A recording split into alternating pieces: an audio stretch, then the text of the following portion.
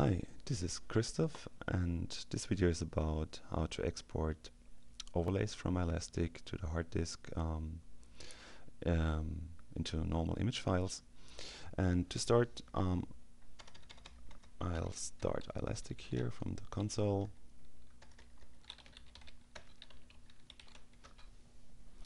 And the first thing I will do is just create an example project um, and there I add some 3D data. So I select this neurons H5 here and maximize the window a bit. So I can use the control key and my mouse wheel to zoom in. And as you see this uh, is a three-dimensional data set uh, with neurons. And yeah for our example tasks we just want to distinguish the boundary from um, the interior of the cell. So I go to classification and select some features. Just let me select this column here without the orientation group. And after the features are computed I create two label classes and just marking the background or the interior uh, with red and I mark the boundary in green. Okay I change to the live prediction mode and okay this is fine for now. And the first thing I have to do is to predict the whole volume. I use the train and predict button and now the whole volume is uh, predicted and you see here in the overlay we have several overlays and uh, let's have a look at the segmentation, so which is just the threshold. And let's assume um, you want to export this um, um, this overlay to further post-process it. So what you can do is just right-click on the overlay and use the export option. And now this dialog asks me for a few things. Uh, the first thing is uh, where to put all those files and I just select uh, a folder and I create a new one for that. I just call it segmentation. And I also can add a prefix for all these files, so just call them uh, neurons. And I choose the file type uh, as being PNG. So now the uh, the stack is exported, or this overlay is exported, and I just have a look how it looks like. So I go to my desktop, open the segmentation folder, and there you see lots of files and I can open them and go through them and you see the whole stack is exported.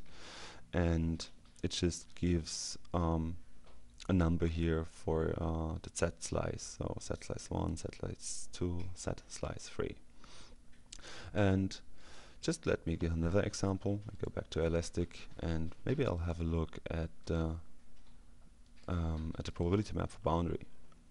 And of course I can also export this. Um, I go with right click to export.